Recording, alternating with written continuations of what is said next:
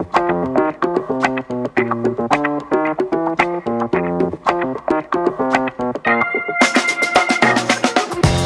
hey everybody, welcome again to the production channel. Uh, this is the place where we get to talk with uh, everyone in the industry lighting, audio, video, show callers, and everything. Um, and so, just really excited about today. But before I get into that, Clem, welcome, my boy. Yo, doing, yo, buddy? yo! Greetings, man.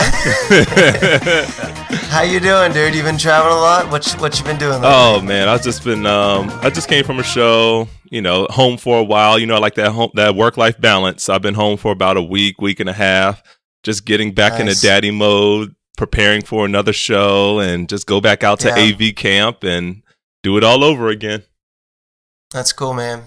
Well, uh, again, I'm really excited about today. It's all about show callers, but uh, real quick before we get into that, Clem, for anyone who's new to the production channel or who's like going, "What in the world is this?" Uh, give our friends a background on what it is we're doing here. Well, hopefully they've been listening. You know, we've we've already right. had some episodes out. So for the, all the Yeah. new the new listeners, the production channel is an Mhm. opportunity for us as technicians, as people in the industry. Um, maybe shoot, even somebody outside of the industry, maybe a spouse, a friend, a partner who just wants to understand more about our lifestyles on the road with our road family, our friends, the experiences that we had, what how we got into this business, where we want to go with our careers, where we want the industry to go. All those are type of things that we're going to just dive into with this series, this podcast series of the production channel. That's it, man. And honestly, we try to frame and format this thing in a way to where um, it's something you can listen to on a travel day, right? Yep. When you're sitting there on your Delta flight with your status and you got your upgrade, you're super excited, you're three Jack and Cokes in. Or you're delayed at an airport. or you're delayed, or literally the most worst opposite scenario of that. Yes. Um, either way, there's a place for production channel. Um, well, cool. Let's get into it today. Uh, today, I'm joined uh, by Jon Allen. Welcome, Jon. Morning, gents. Good morning.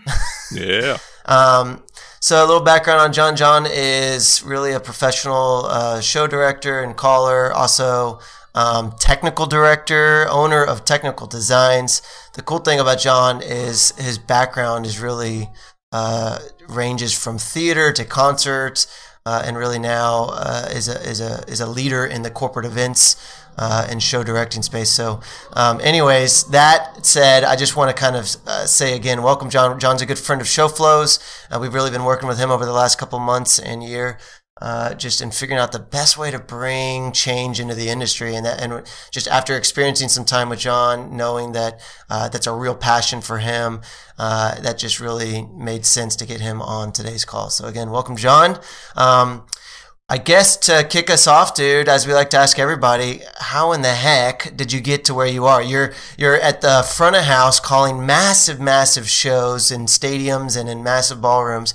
Uh, how in the world did you get there? Where did you get started? You know, man, that's uh, this podcast is such good timing because just yesterday, the director of the little community theater, I was 10 years old in Northern California when I started acting, and uh, and I kept in touch with this cat, Cliff Byer, and he came over yesterday to my house and met my kid. He's 70 years old now, and like it really gave us a chance to talk about how theater and and that beginning kind of has run like a thread through our lives for sure. Mm. Uh, yeah, so I started acting when I was a little kid, and then started doing lighting. You know, with like man, like building little rheostats and stuff, and doing That's cool. punk bands around the Bay Area, and uh, doing the high school theater scene. I was still kind of performing and doing lights, doing all the technical stuff. And then I went away to college thinking I was going to step away and, uh, you know, do do another thing. I was going to teach actually, but um, I ended up connecting back with Arden Fingerhut, who's an old school lighting designer, Broadway, that some people will remember. She was amazing, and uh, she showed me everything that I that I didn't know, and Mm. started putting me on a path towards a more holistic way of Mm. thinking about design. Uh, and then I started doing rock and roll and rigging. I was, I was a climber growing up, uh, so rigging seemed like a great way to make good money, not work too hard, and see the world, you know. So I toured doing that, and then um, slid into corporate. Man, I, I wish I could even tell you how that happened. I don't know. I mean, I don't know how you go from punk to corporate. that, one's, that one's a pretty good jump. only in America. Only in America. That's right. Uh, Did you have long hair when you were in the punk Oh, band scene? man, after high school, yeah, I had hair down to my waist. It was crazy. Oh, not, for, not so for much good money. now. I, I will send those pictures around for good money.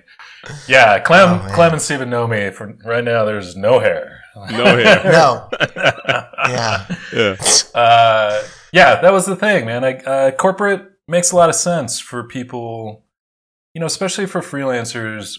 You know, like uh, Clem mentioned, I think, which really resonated with me. You know, coming back and getting off the road and switching over to daddy time. I do the same thing. I'm a single Mhm. dad. I've got a 15 year old daughter, and uh, that flexibility that we have with our schedule. You know, on the surface of it, a lot of people look at us and think that you travel all the time and it must be really hard. And it, and it is it is but there's also upsides to it because when you're home you know you're home 24/7 100% attention on your kids and it Mhm. can make a it's a different style of parenting but it can make uh, for a really sweet experience too i think. I, I don't think it's something to shy away from. I know guys that you know that hit our income level in the so-called real world and they see their kids you know after seven o'clock at night after dinner for an hour hour and a half they might see Right. them for one day on the weekend it's all really rush rush rush they're always distracted uh, Mhm. because their job is encroaching constantly so i for me personally whether i was wired this way to begin with or whether being in the business for you know shoot dude it's uh, 39 years now uh, Wow. has pushed me this way like i don't know which came first but for me even with all the self-doubts that you have as a parent it works pretty well Yeah. I know one So- thing one of the struggles that I've had, you know, coming out of uh out of college and and finding my way into uh sports broadcasting. I was a camera operator for the Magic, Orlando Magic for 15 seasons. Orlando Magic. I was there last night. Watched them. Yeah. and then found my way into this industry and that grind and that run and go chase that dollar and all that and you know mm-hmm. it, it just be, it consumed me and Sure. it finally took my my wife and the family dynamic and all of that for me to realize that you know you're you're you're focusing on the wrong things you're missing Right. what's important out of life chasing that dollar or chasing the the the mindset of I have to work now because I don't know if I'm going to have a you know if when the next gig is going to come in. But I've been Mhm. I've been fortunate enough and blessed to have those gigs always come in, but I'm still chasing. So absolutely man I know you That had mentioned away, right? earlier. Yeah, it doesn't. It doesn't. But all that. But I'm trying to change my mindset. And um, what made me think about all of that is how you were talking about the family time, but then you were also talking about somebody that taught you the holistic point of view, and like the holistic point of view of lighting. But what about the holistic point of view of the industry? Mm-hmm. Mm-hmm. No, I agree, man. It's uh, and it's funny because I, I I think Stephen has seen this, but I have my uh, I have this list going of I don't know, it's probably like 25 ways of to be a better show caller, right? That I Mm. kind of Mm. use when I'm talking to people getting in the business, and I pass it around amongst friends. There's some funny stuff in there, but there's some, you know, I had kicked it to a producer last week on a gig, and what he wrote back was, "Wow, that's a really holistic view of what we do," and I'm like, right. And I hadn't really thought about it that way before, but it's true. You affect people in many, many more ways than just what we're dealing with to get that cue done. Mhm. And Mhm. as we've seen, you know, in the last month, I know of two cats in our industry who unfortunately decided to to take their lives. And I'm and there's Mhm. probably more out there that I haven't heard of, but two people that I knew. And it and it happens in our business and um, I think it's worth taking them second and just remembering that even if you're just touching somebody on headset, just seeing them on a show, just seeing them backstage for a second, maybe you get to catch a meal although that's pr- pretty rare for me to be able to do. But you know, maybe you can sit and talk. It's I like to get deep fast with people, and mm. it's I and get it's, that. It's worthwhile, man. Like you get more than you ever give if you sit and talk with people, and it took me a really long time to learn that, man. I was kind of an awkward, shy kid growing up, and when I got in the business, I was hyper focused on what I was doing because I wanted to be really good at it. Yeah. And it probably delayed my development as a person, you know, moved my development in the business, but it delayed my development as a as a whole person longer than it should have. And that's part of hmm. what I try to teach people that are coming up. You know, they don't have to focus like you were saying, you know, you don't have to focus so much on chasing the dollar. Yeah. It's now, when, we're fortunate though. We're fortunate cuz right. we've got the opportunities and we're making money and that's not true for a lot of people. So Yeah, we put our mm-hmm. we put our time in and we've allowed ourselves to I, I feel like if you're true to yourself, if you if you're a good person, that will shine out. And if you care about what you want to do and be good at what you want to do, then Agreed. the opportunities, the work will come, the opportunities will come. Now, from a show point of view, like as a caller, as a um, stage manager, how do you? Because obviously, you know they get stressful the environments get stressful. The producers, yeah. I mean, not the producers, but sometimes, yeah, producers too. They get on edge. The client, they get on edge. How do you stop that stress from coming down to the rest of the people on headset? Hmm. Yeah, it's uh, that's important to me, and it's um, I think of it like a like an hourglass, right? Mm-hmm. And I'm the neck of the hourglass. So all sorts of craziness can be happening upstream of me, and and my job is to make sure that it doesn't affect the, sh- the crew's functioning. Like not only their personal reactions, but also, you know, selfishly, I want this show to go well. I want a guy to execute. I want hundred percent, you know, 110% effort from everybody. And the right way to get that isn't by berating people. It's not by overreacting. It's not by passing along stress it's by making sure the crew knows that you've got their back and that you're going to set them up mm-hmm. for success. You're going to give them the information they need. They're never going to wonder what they're about to do. And when the, you know, when the situations get crazy and stuff fails, that you have a path out, right? Like you mm-hmm. are not looking to them to solve this for you. And that's really important to me. So I, and I have, I have I don't have these clients anymore, but you know, I, I've had clients who prefer a different style of management, who who don't feel like uh, stage managers doing their job unless they're yelling at the crew constantly. Um, that they've got to squeeze the crew. I've had creative directors like that. Big, there's a big creative director. I won't mention his name. Stephen's heard me complain about him before. He's known far and wide as kind of a stereotypical, horrible you know, throw stuff, berate people personally, kind of a guy. And, and he and I've had conversations about this management style. And I just, I, not only do I, do I not believe it's effective, I also cannot live in that world. I won't yeah. contribute to that world. So yeah, I uh, I use a lot of humor. I uh, tend to swear a lot on headset. I uh... you do, but you're doing very good right now, Jon. You're doing very good. Thank you. Uh, I'm really trying hard. Get a cookie. Get a BFC. yeah, you know, like we try to keep it casual until it until it's not, right? Like as long as yeah. things are flowing, it's I don't require a sterile intercom environment. I mean, it's it's certainly not crazy, but you know, I'm who are we to pretend that this isn't our lives, right? like yeah, yeah. we're on headset. That's it. It's well, 12 and, hours a day. And you know, I think Jon with uh, the interesting thing with your role and your responsibility, particularly again focusing in as the show caller, but well, actually even as a technical director, but still keep it on show caller. Um, you are the bottleneck between the sort of chaos above production and and your show crew and and the crew in terms of when we're on headset and when we're in rehearsals um, we're all listening to you. You are the beat, right? The drum beat right there for the entire thing.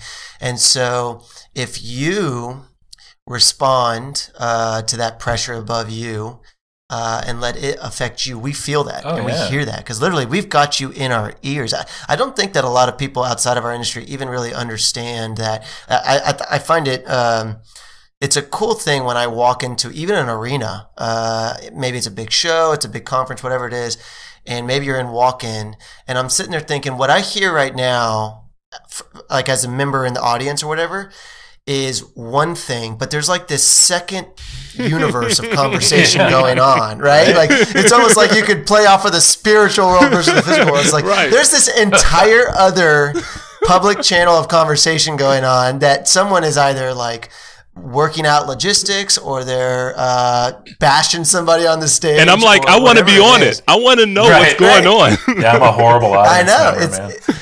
But I think that like that's a cool thing, and the idea that it's it's likely eighty percent, if not more, one person's voice in thirty six people's ears, you know, or even more, uh, and that that role falls on you. It's just it's just not a small thing. So um, if you didn't realize that, you have a lot of pressure. So side note, Tim, there you go.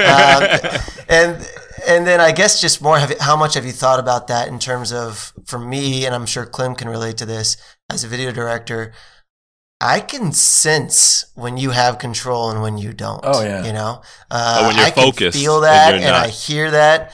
Yeah, Yeah. and uh, I can also tell when you're taking care of us and when you're taking care of yourself. That's right. Um, No, and so yeah, talk to us about that. Like, what goes through your head on all that? It's a huge responsibility, man. And I actually, I'm wired to think about best practices in everything that I do. Um, you know, all my weird hobbies and all the stuff, you know, in my normal life and certainly at work, right? And so I, I think about best practices and, and I'm not going to say I'm 100% um, all the time. I, you know, of course not. I fail always. And you have to have compassion for yourself, number one, which, you know, also you have to have compassion for other people failing and knowing, you know, Mhm. you have to trust that everybody wants to do a good job. That's, that's the most important thing that I feel like. And, and in those few mo- times, right, when we've all run into it, when you really run across somebody who is way in over their heads and won't admit it, like won't ask for help, or is just massively like is just one of those personalities that is not going to be able to perform, then you have to have enough production chops to to figure out when you're going to let somebody go and, and replace them. Because Yeah. the number one thing is, you know, the show's got to happen, right? And Mhm. while you want to be as kind as possible in our processes, you can never let that take over. I mean, I was laughing. Uh, I have a good friend who's a, a lighting designer, and he used to tease me. He's like, "Hey, man, uh, you're kind of like Jekyll and Hyde here. You know, you're really cool, and then suddenly something snaps." And and my uh, my kid is super funny. She'll say to her friends, "You know, she's like, yeah, my dad's cool until he's not." And I, and initially, like the first time I heard it, I was sort of bugged by it. But then I realized that that's actually I actually believe in that.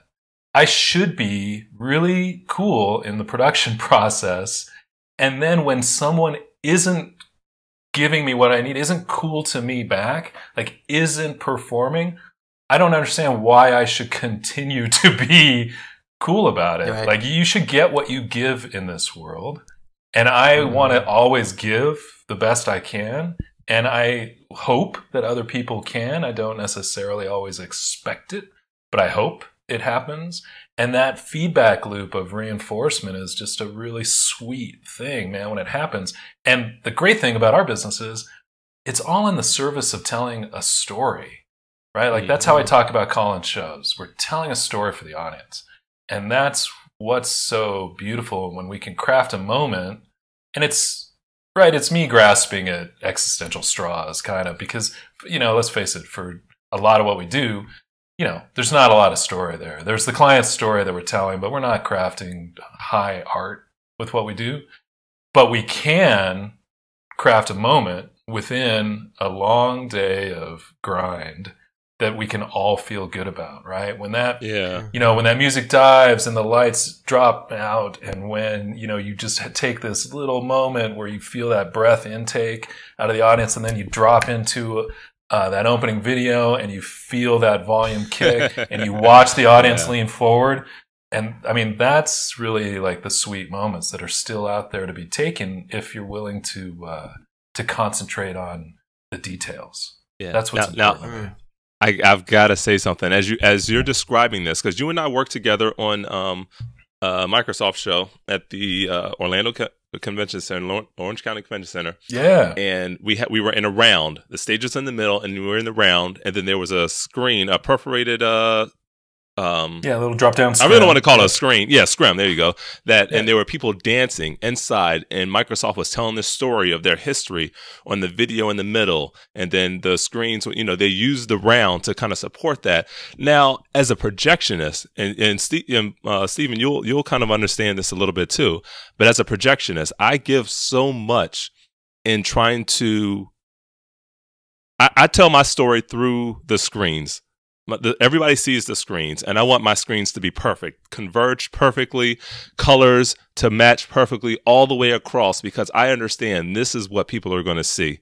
Now right. i give so much into that but then i have to go backstage and i miss the opening number. So you're describing that opening moment right? And fortunately for that show i didn't have a true um position like dur- during the show so i was actually able to see the oh, opening oh, cool. number and i saw how beautiful and impactful it was but there's so many times that people behind backstage don't see that so they right. get mm. lost or not lost but they don't have a, the opportunity to feel what you just described yeah they and don't get the different payoff. Yeah. yeah no because they're all because the payoff only happens when everybody backstage is so focused on their piece of it. And that's yeah. that's what I you know, I grew up doing all those positions, right? I was graphics at TVL for God's sake. I was camera op, camera director, audio lighting. You know, I have the I, I think that it makes me a much better show caller than I would ever be otherwise. I'm not saying it's the only path towards being a good show director, but for me, it helps me to know you know, and I can't keep up obviously with all the latest technology, but it yeah. helps me to know what pe- what other people are going through so that I can guide the process more effectively.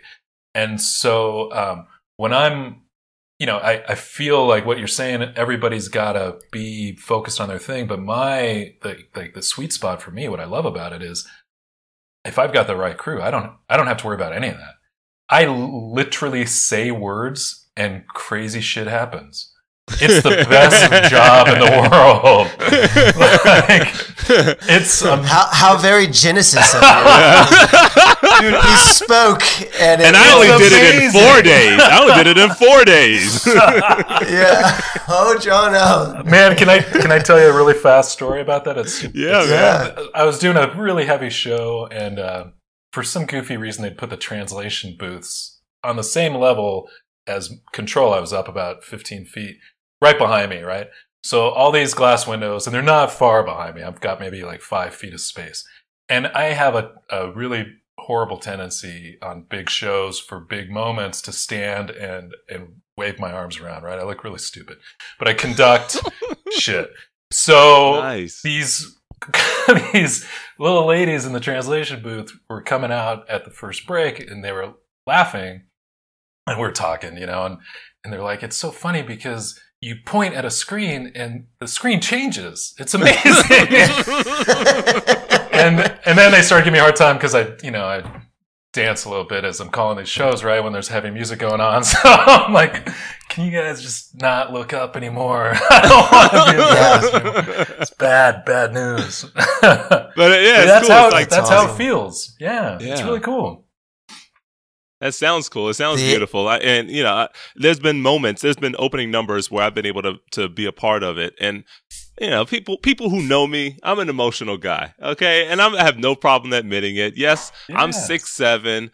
I'm tall. I'm black. You know, I've got the bald head, and yes, you may find me in the corner shedding a tear because it's so beautiful. You know, that's good stuff, brother. That's good stuff. You know what's interesting is. uh I think that so being a you know live video director for particularly corporate events for so long, um, I'm always backstage. And honestly, the bigger the show, even the further away I am from it, you know, I mean, the bigger the show, I'm either in a, you know, in the tunnel in the MGM Grand somewhere or whatever, you know, very, very far removed. And uh, I've thought about this and I've talked with people about this before.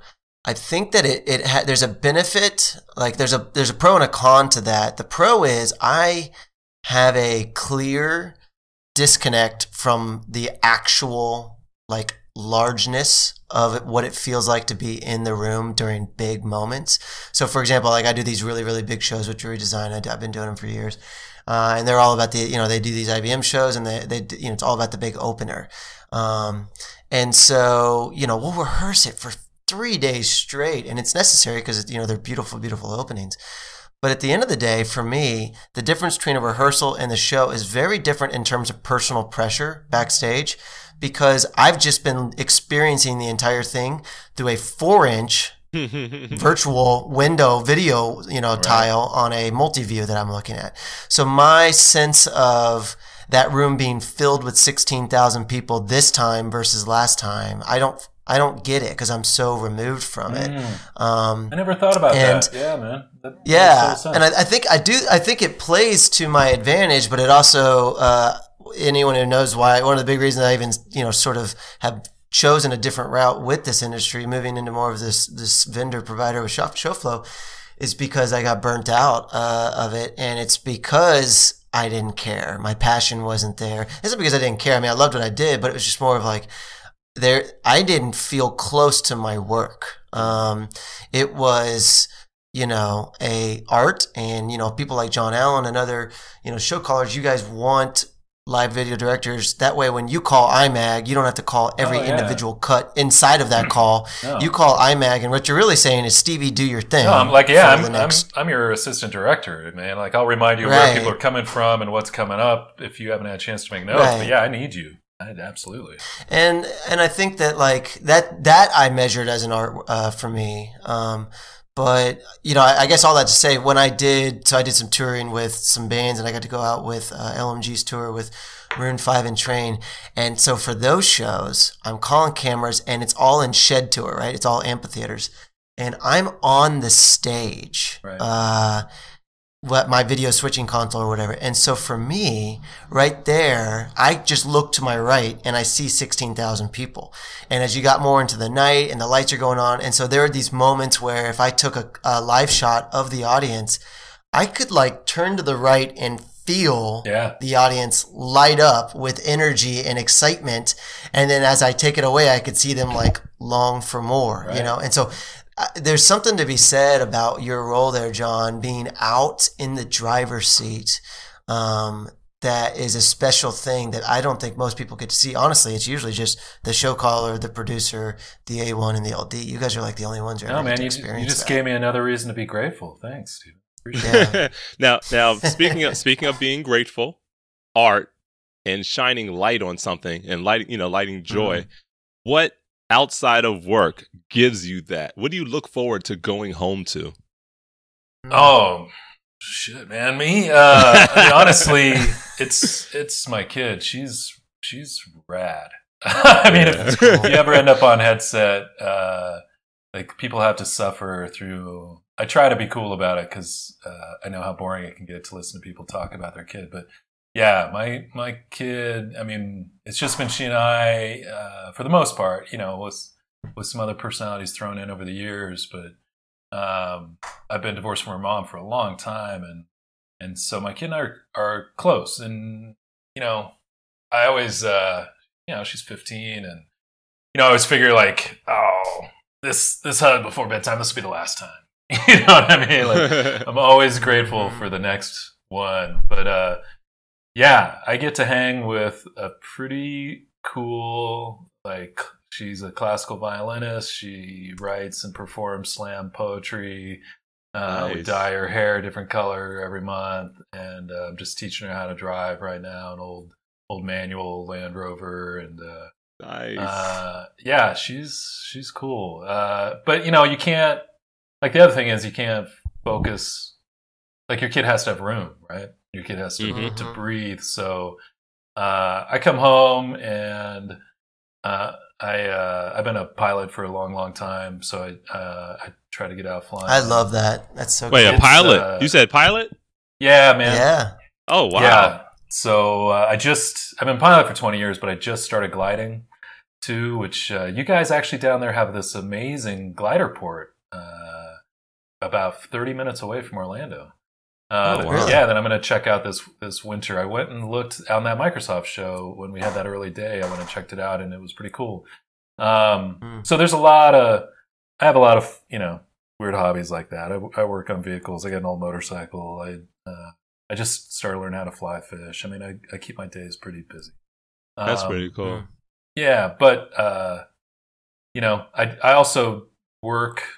My shift in the last two years has been to really work half time when I do work, like sort of do a uh, week on week off when I can arrange it that way, and I take the summers off. I, I do one one show a month in the summers uh, when Liz is out of school, and then I I tend to take most of December off. You know, it's pretty easy because our business is a little bit slow.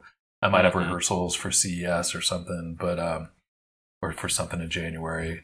I mean, that's that's the reason I kind of keep my hand in doing other stuff and still TDing and drawing shows is because I like to be able to make a little a little change when I'm not on the road. You know, Right, it's kind of right. nice. Yeah. Now you you mentioned something when we before we started recording about an opportunity that you had to uh to teach. Like how how Oh, yeah. how do you kind of take that passion that you have and place it on somebody else's heart? Ah, that's a load, brother. Um, Hey man, you said you like to get deep, man. Come on. I'm I mean. That's right. I'm Get Doctor deep. Let It Flow right here, man. There's no I'll tell you, I've uh, I've always taught one way or the other.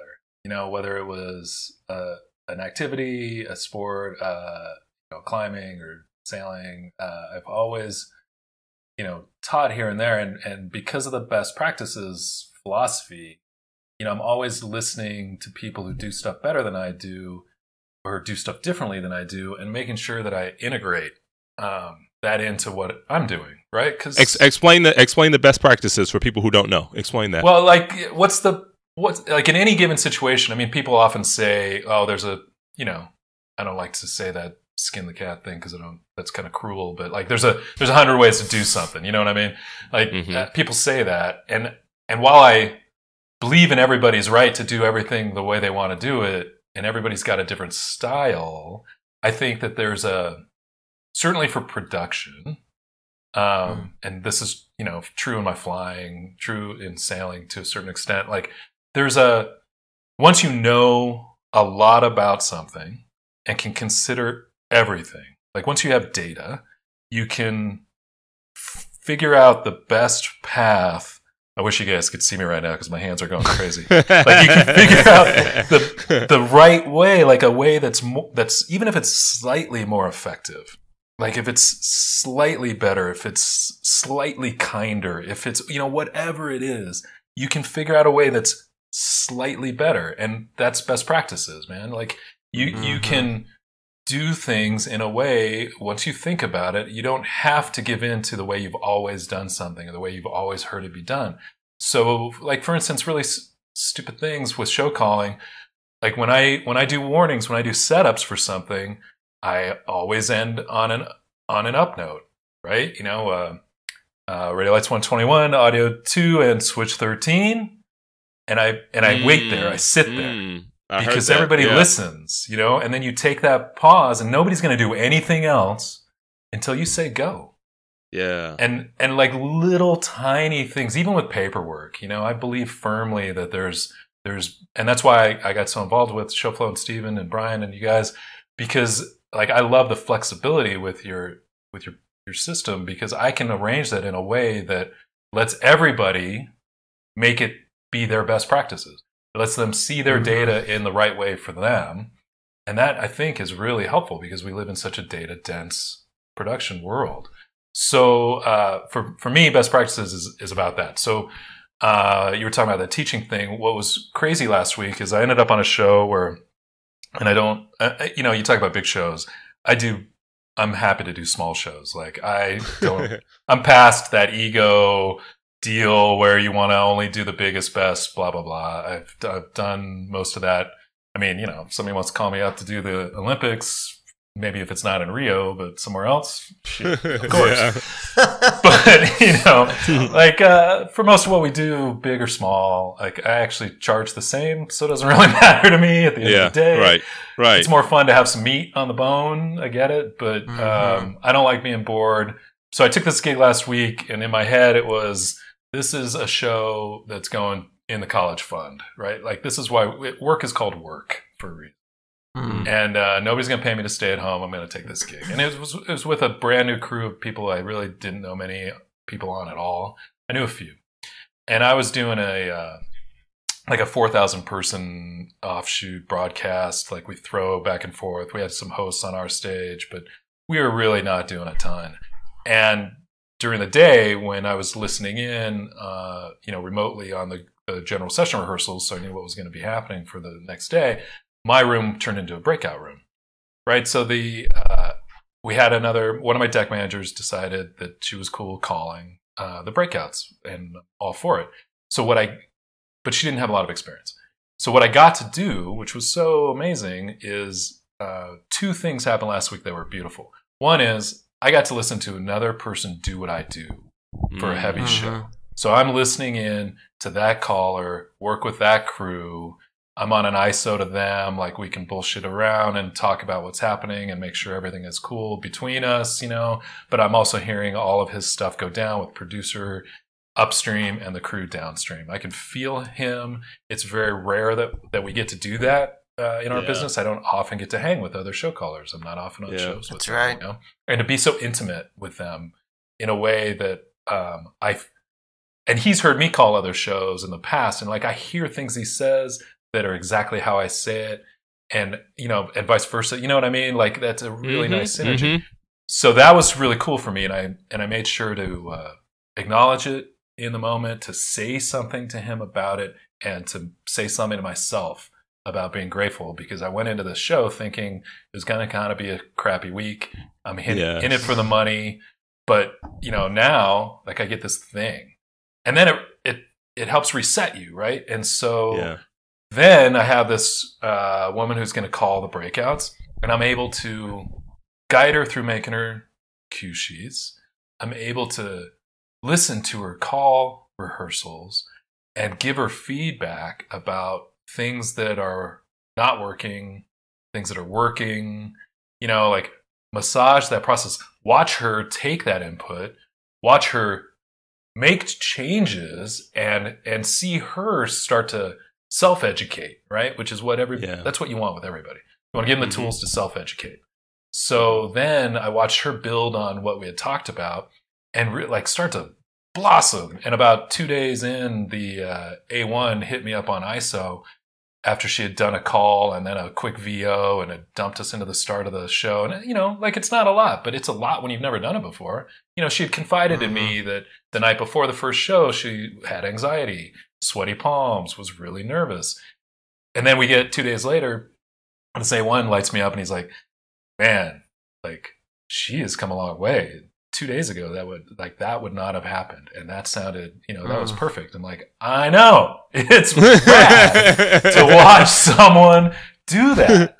It was amazing, and yeah. uh, and we never get to like teaching. I have friends who teach stage management. Uh, there's a lot of graduate level uh, programs out there, and my understanding is they mostly teach Broadway style theater stage management. Um, not really what we do, or, although they'll do a seminar about what we do or a module on corporate show calling.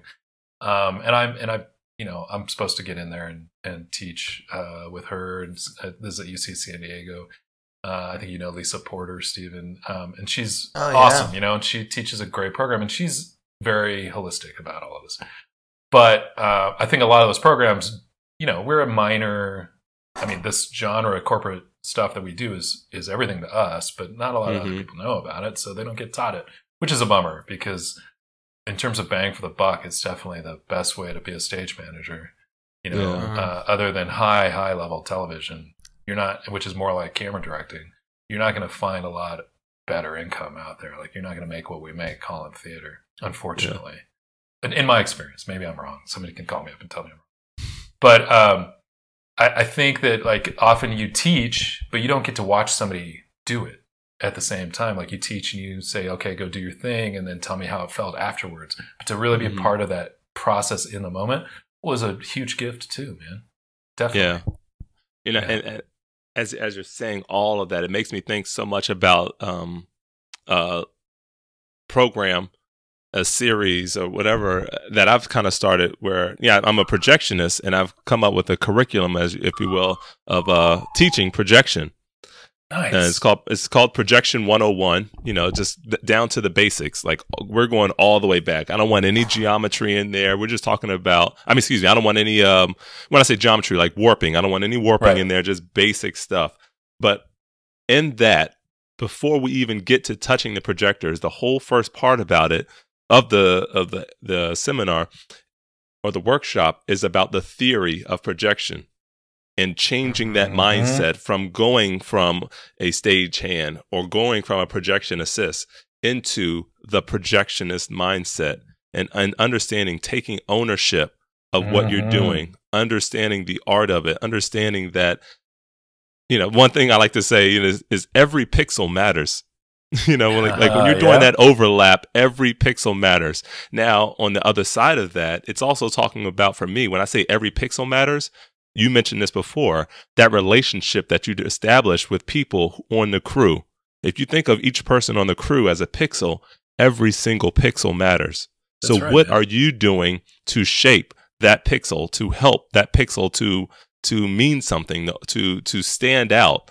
and to to long to last to have that long long lasting career in this industry or if it's not meant to last how will they transition into something else but always remember that moment that you had with them oh yeah. you know it's like life No, projection for me it's so it's so much more man Well, and and I want to just say like it's it's two ways, right? Like those guys are giving something back to me too. Mm-hmm. You know, it's not a top down thing, and a lot of people mistake um, show callers as you know it, it can come across as a very arrogant position, and Mm. and I and I want people to and the people that know me I- like uh, it's important to me that they understand that um, I never think of it that way. I actually think of it as I'm in service, right? Like I have told I, I've I've told people what the expectation is. I've given them the tools and the time and the feedback from front of house, you know, deciphering what the producer wants, the client wants. Like I'm telling their story. It's not my story. I'm telling somebody else's story and I'm and I'm getting everybody on the crew to to get there. But um I'm just like I'm the voice of timing out front. And if I abdicate that and let other let people be like take their own timing. I mean, and obviously like, you know, in moments for sure. Like I always say like you don't have to do what I say, but I'm never going to get mad at you if you do. But if you're not going to do what I say, don't be wrong. like, you know, just be right. Cause I'm going to get distracted with the client. I'm going to, you know, screw up. I'm a human being. I'm going to fail. But, you know, cover me. I'll thank you uh, publicly. Like it's really important to publicly thank someone when they, when they bail you out. I will, you know, buy you a beer that night, what, you know, whatever. But I don't expect people to do my job for me because I think that's wrong. I'm being paid good money to, to do a job and to sit there and let other people, you know, take cues on their own. They don't really know. They're backstage. They they don't know what, what how they're integrated with stuff. I think that that's not that's that's me kind of uh, screwing up the whole process, man. You know, like that's not me being the, the a good person for that crew. So I'm I I hope like when I sit down and talk to guys, like I'm not out there saying it's my way or the highway. I'm the only person who knows what to do. You guys just punch buttons. It gets never like that in my head. And it, I can understand it maybe getting interpreted that way in the heat of the moment because things have to get be said, right? It's one show, one voice. Like I have to decide what's going to happen and I have to take that responsibility. But it's never because I think that other people can't do it. They just aren't being paid to do it that day. I am. Hmm. So that's my hit on that. That's awesome. knowledge drop No, man. yeah. Seriously, that's that's uh that's huge. That's the perspective that well, that's just an example of one of the perspectives that we that we're trying to get together here on this on this sort of podcast. So um Jon, thank you, man. This was huge. I really appreciate you joining us today. Thank you guys, man. It's a it's a pleasure always to talk to you guys. Thanks thanks for diving a little di- deep with me. That's awesome. All right. Well, uh, for everybody else, we're going to wrap this uh, episode. But again, stay tuned. Keep tuning in. We're uh, going to keep bringing different people from the industry, whether it's broadcast, sports, camera, video, lights, audio. Um, we're going to bring them, uh, and we're going to with that, Clem, I appreciate you, brother. Jon, I appreciate you, and we'll catch you guys next week on the production channel. Chatter.